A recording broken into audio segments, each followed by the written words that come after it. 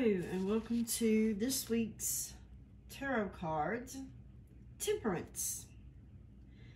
The RWS has keywords economy, moderation, frugality, management, and accommodation. The Guided Tarot by Stephanie Caponi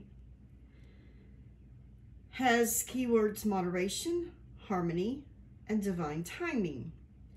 For numerology, it is 1 plus 4 equals 5, and that is connected to the Hierophant, which is the fifth card. In astrology, it is connected to Sagittarius, adventure, seeking higher wisdom, truth, optimism. Now, in the guided tarot, Temperance reveals a promising path forward, but one that requires us to reach out for assistance from the divine. An angel stands with one foot on land and one foot in the water as they pour water back and forth between cups. The water appears to flow in both directions at once, representing the process of alchemy wherein the impossible becomes possible through a connection with the divine. This card tells you that if you choose the path of thoughtful moderation, the divine will support you by taking action on your behalf. This is how alchemy works in the spiritual realm. And from the personal spiritual reading, whether you are struggling with something specific or just feeling lost, now is the perfect time to connect with the divine and welcome the messages you receive. Use your intuitive guidance to move forward on your path to reach your higher self. Surrender to the plans of the universe. And uh, Biddy Tarot, whoops, my book fell. Biddy Tarot says, Temperance has a large winged angel who is both masculine and feminine. So I'm going to refer to them as they are you know, them. They are wearing a light blue robe with a triangle inside of a square on the front. The triangle is humans bound by earth and natural law, which is the square. The feet are balancing on, there's one on the rock that's symbolizing needing to stay grounded. And then there's one in the water symbolizing needing to be in the flow. They are pouring water between two cups, symbolizing the flow and alchemy of life. There is a winding path behind going up to a mountain range. This is the journey through life.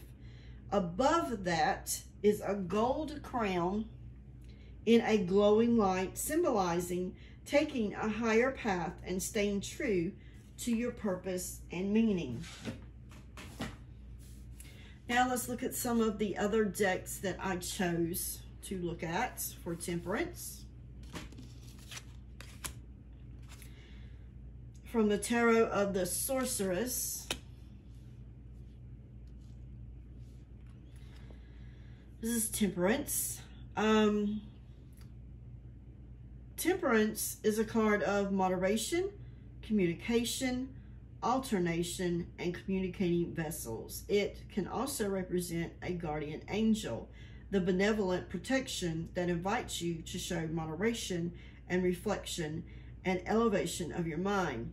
Temperance is surrounded by many candles, lights in the heart of darkness, and other references to Yule. Ivy protects the home, while holly symbolizes renewal with the reappearance of sunlight and lengthening days. Blessed thistle calls for a purification of the home, and frankincense brings balance in complete harmony with temperance. With his her light and alternation, temperance forges a connection between Samhain, a night of otherworldly creatures, and the devil card, which represents an essential inner hidden world. He or she is a bridge. A path opens both ways that enables round trips and rebalancing. He, she can invite you to explore your own shadows and light, Weigh the pros and cons or listen to your intuition without forgetting the voice of reason. Reason. Yule is the shortest day of the year. It is the winter solstice, a festival in which we celebrate the imminent return of the sun. Temperance symbolizes all the hopes of the shortest day and the longest night and the way towards the equinox, the perfect balance. Yule is also a sign of gathering with your loved ones with gifts, love, and communication.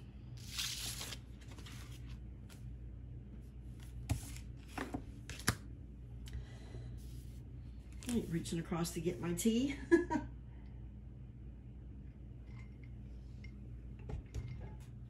okay, the next one is the Wild Unknown.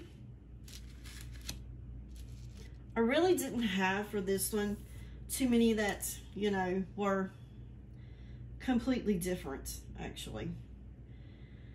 So, the great blue heron remains calm and peaceful as she blends the opposing elements of fire and water. The temperance card asks you to be a moderator, much like the heron. Focus on cooperation and compromise. If you've been excessive in one aspect of your life, practice self-restraint and moderation now. You'll find a new sense of healing and balance from bringing a little harmony back into your life.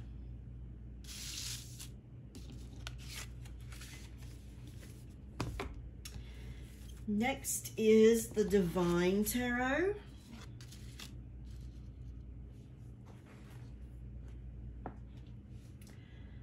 With the Hanging Man, the Fool now sees balance once again manifesting itself. Here, an angel floats in midair with opposite forces of fire and water issuing from her outstretched hands. Fire rising into the air, water falling to the earth. All four elements are thus represented despite not being specifically depicted. The angel is not shown to be flying in any direction. Instead, she is static, hovering and maintaining equilibrium by the equal and balanced opposing forces held here in moderation and balance.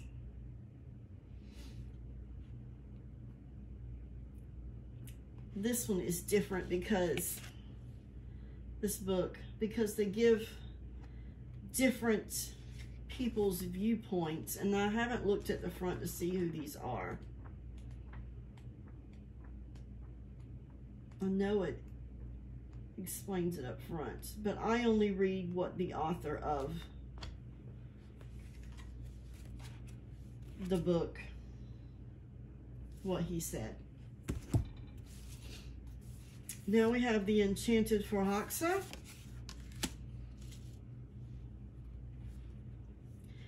There is a story of a force within the land of Forhaxa that controls and comforts the storms.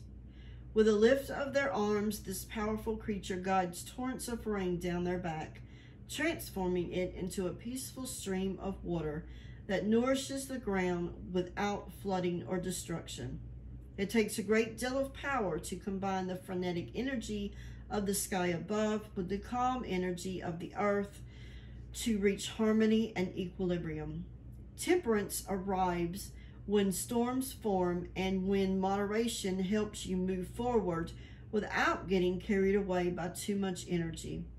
Now is the time to find balance and bring forces together where there is no single great power.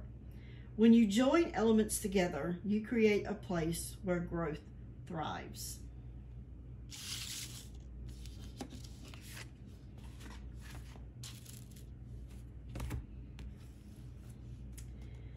Now we have the Wildwood Tarot.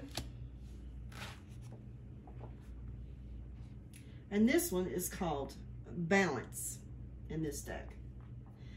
The polarized energies of the land interweave and intertwine around the staff of the heavens, generating the pulse of life.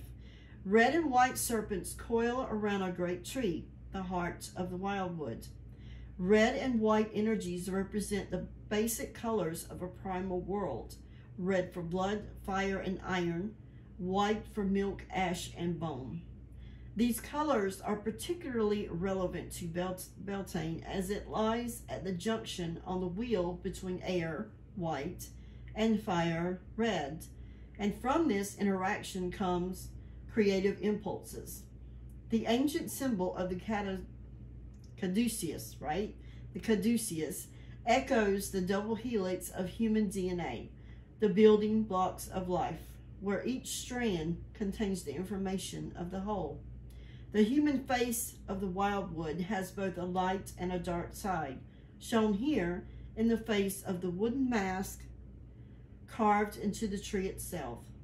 Both are natural and necessary components of the human condition. The balance between humanity and nature is vital.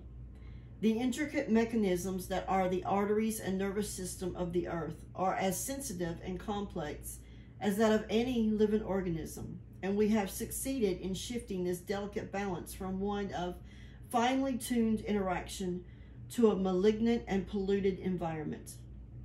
The ancient peoples of the earth long ago recognized their dependence on the ecosystem of the planet to sustain and renew their children. Modern society has become completely detached from that reality and believes the planet is here only for our selfish and greedy consumption. The renewal is taken for granted.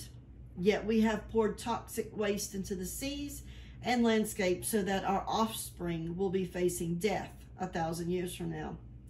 Our abuse of the natural world has annihilated whole species of creatures and rent a hole in the very fabric of the atmosphere that makes life on this planet possible. This is a crime beyond comprehension, and humankind will be paying the price for generations to come. Temperance is the traditional name of this card, and it represents a state of inner strength and tranquility from which deeper knowledge of the self and the universe can be absorbed and contemplated. It is the key to the higher self, both on the personal level and as a species, we must strive to find a balance. You must be balanced and patient. The time is right to rest and contemplate all the facets of your existence. To continue now, you must be still and calm. Finding the inner balance that will enable you to see beyond the present state is a process of true trust and confidence in your own strength. These facets may include the parts of your psyche that you would rather not deal with, but no amount of denial will rid you of the need to absorb and reclaim them. Balance is absolutely necessary to free the inner self from the fears and self doubts that keep us spiritually deaf, dumb, and blind. Once the natural state of balance is achieved, the plateau that will give you access to the higher self will be open before you.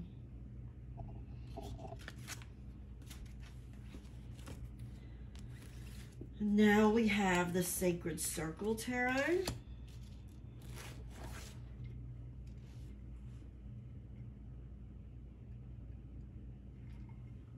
Which is called Initiation instead. The card shows the initiatory maze with the cauldron of rebirth and inspiration at its center. A woodpecker rises from the smoke. The border bears the hazelnuts of wisdom and chervil herb. In many cultures, oops, I skipped a page. Initiation is a ritual death, renewal, and rebirth. It is not a single event, nor is it conferred by a ceremony. It is a continuous journey of expanding consciousness. The journey is symbolized by the double spiral, which first curves inward, the declining death spiral to the center, the point of initiation and renewal.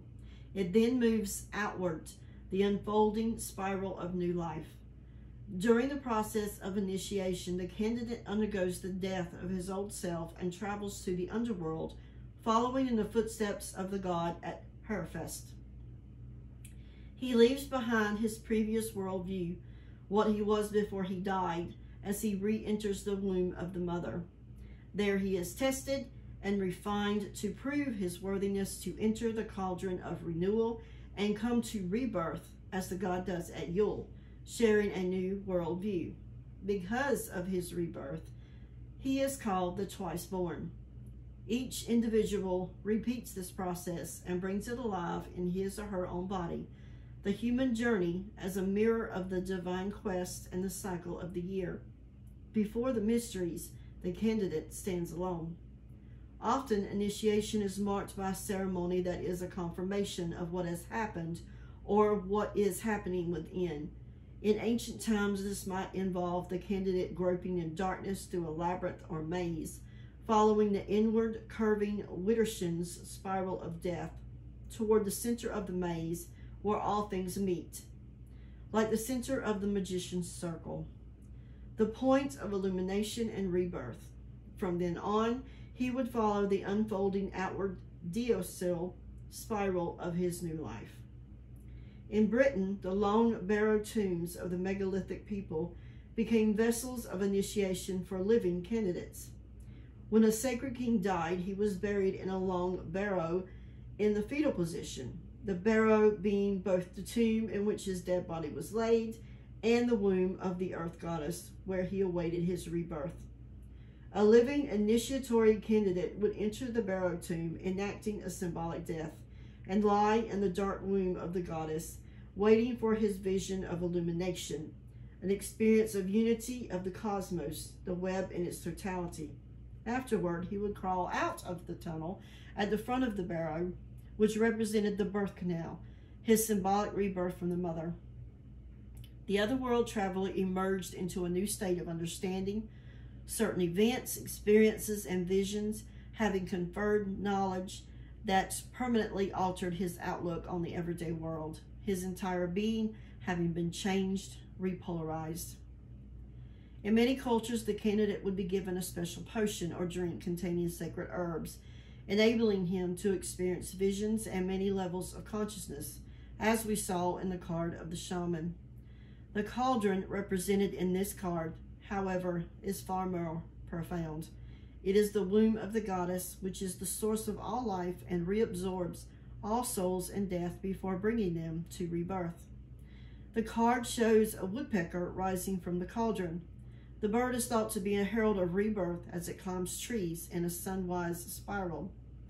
In stories, the woodpecker knows where treasure is hidden and the location of the mysterious herb springwort, which could open doors and locks, not physical doors and locks, but spiritual ones, opening the way to the true self. The herb must be earned, and the woodpecker pecks out the eyes of anyone who tries to steal it.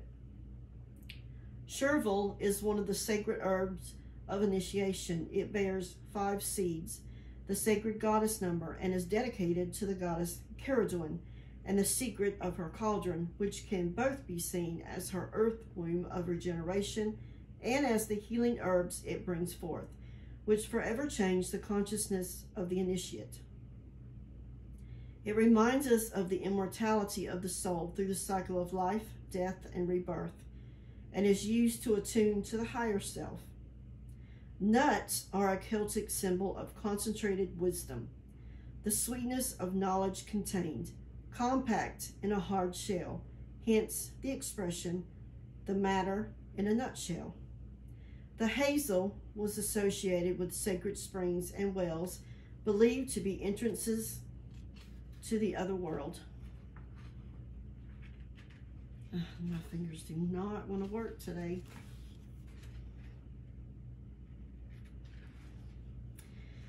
In many cultures, rites of passage mark the transition from one period of life to another. For example, a girl's first menstruation and her transition to womanhood or marriage, the transition from the single life to the married one, and so on. This is one kind of initiation, the passage from one state to a new one.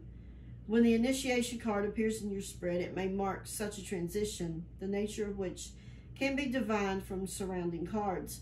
The woodpecker signifies that one cycle has ended and another is about to begin. The success of any enterprise depends on cooperation with and consideration for others. Existing relationships can reach new levels of happiness and fulfillment by taking time to understand and accept the feelings of your partner. A spiritual initiation also marks the passage from one state to another, a state of new consciousness. When the initiation card appears in your spread, it marks the dawning of spiritual awareness and joy. This is a card of balance and harmony derived from working with sympathetic people in a relationship of equal give and take.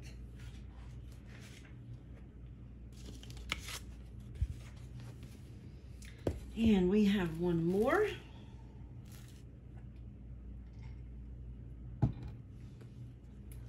The Gaian Tarot.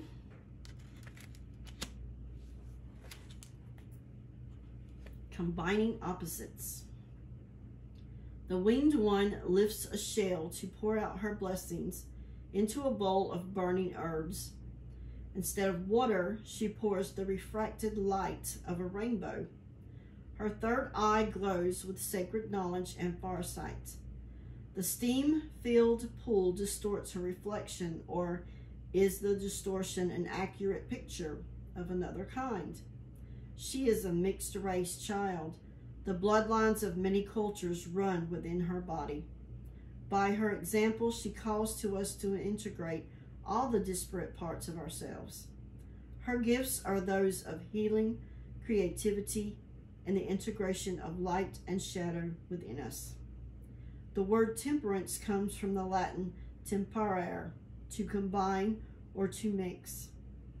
This card is about combining diverse elements to create something new.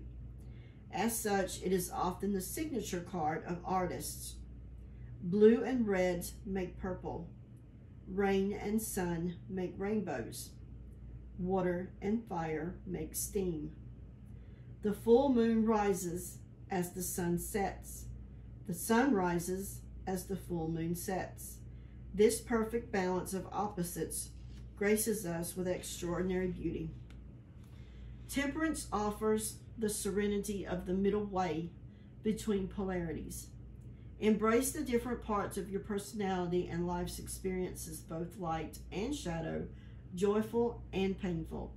They all combine together resulting in your unique individuality. This is an opportunity for the inner spiritual life to harmonize with the external life of the workaday world. Temperance offers the discovery that your whole life is a work of art. It also indicates someone who may be in need of healing on a spiritual or physical level. And the winged one, a descendant of the ancient bird goddesses, will facilitate that. She may also guide you into the role of becoming a healer yourself. So that's this week's temperance card. Until next video, blessings in the dark and wild.